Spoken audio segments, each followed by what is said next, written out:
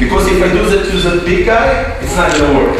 So what I did is, instead of using my hand strength, I'm using the weight of my body, pushing forward. Now since he's resisting, he's perfectly okay to drop him harder on the ground. You know, he's fighting. You just control him and drop him on the ground. But be, be prepared.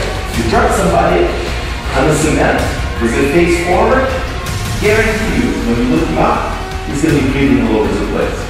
Not because you're hurt or anything, cement did it. Here, just slides, just from here, just went in here, and just bend forward.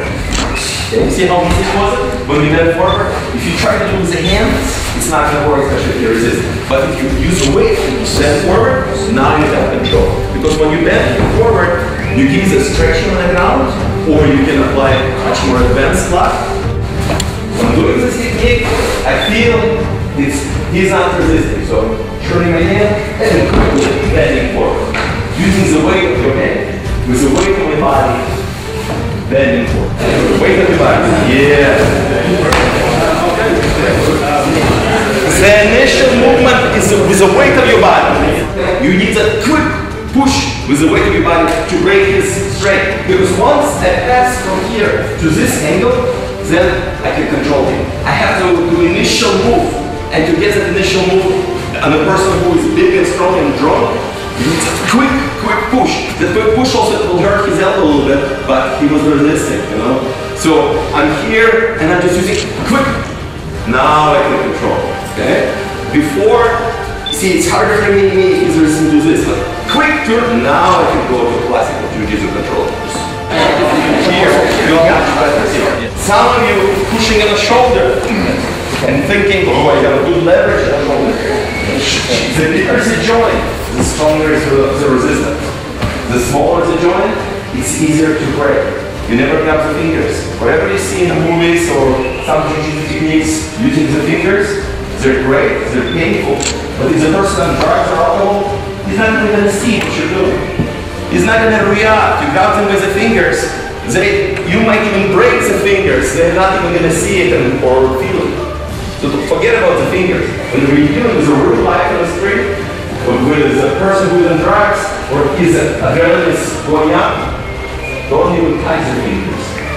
The, you need to go wrist, elbow.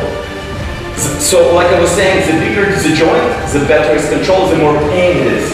But the shoulder is too big, it requires tremendous force to damage the shoulder. So stick to elbow and wrist.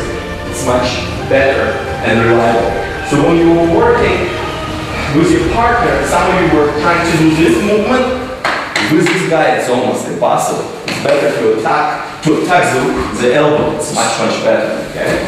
See how my hand, so tuning in and I'm here controlling.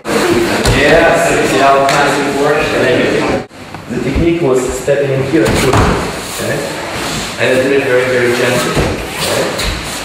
That's a normal reaction. A big grown man just drops because it hurts. I didn't sleep him, I didn't throw him, I just attacked his, his wrist. So this particular technique, don't do it fast. It's a, either cross hand grab, or if he's not grabbing you, you, you pull him yourself and do it. The reason you do it by yourself is not grabbing you because it's a very effective and painful. It's a cross hand grab, you trap his hand. The reason you trap him, so he doesn't pull back.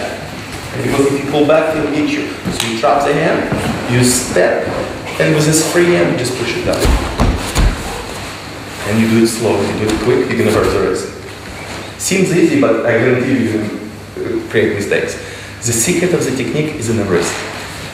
The secret is at this angle. If this angle is correct, what you're doing is you're turning the wrist in. That's why it hurts. You're not doing this. See how big of the motion in here? The bigger the motion, the longer time it travels to his brain and sending it's, it's painful. That means there's more time to react. I'm doing this movement. You see how little movement with the wrist in here? So that's what I'm doing. So that's why when I come in here, see how I bended his wrist? And I didn't extend my hands. I extend my hands, he will counter and break my hands. So I keep my hands closer and tight. Very little move and I kept my hands tight all the time. I tried, stepped into him and all of his hands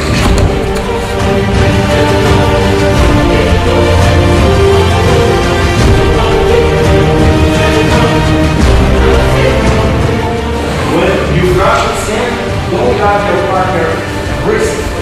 You know when you damage your joint, what's the first thing you do? You wrap in the joint. Why? To protect, right? So if you grab his wrist, who are you doing a favor? You're doing a favor to him.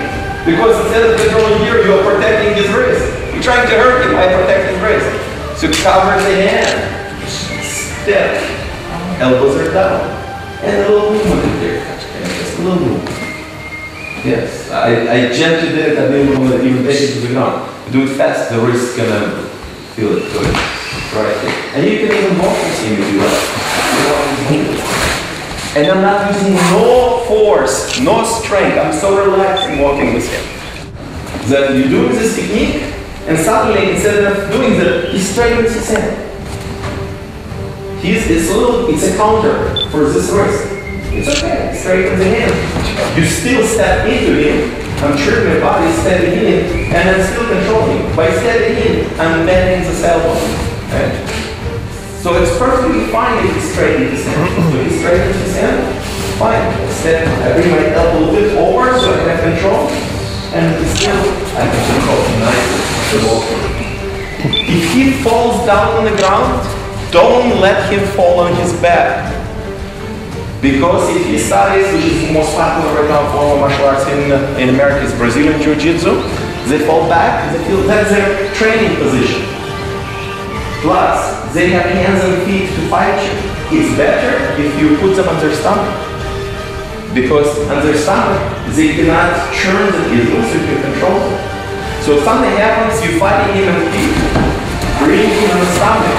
If he's not listening, see how he nice and slide, he's not listening to me. It's dangerous. My my body is closer, he might strike me. This is bad. So that's much better position. Okay? Now I can relax a little bit. I control his elbow, look around. Before, maybe he was fighting me hard and I need the extra seconds to get my breathing under control. And uh, he's not trying to try to escape. You're not gonna go anywhere? No, man, put the cuffs on. oh, jeez. So,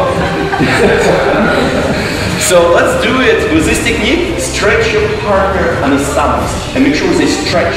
You don't want to fight. If they're like this, dangerous. Like this, dangerous. Stretch them like a rug. Then you have much better control. So try it.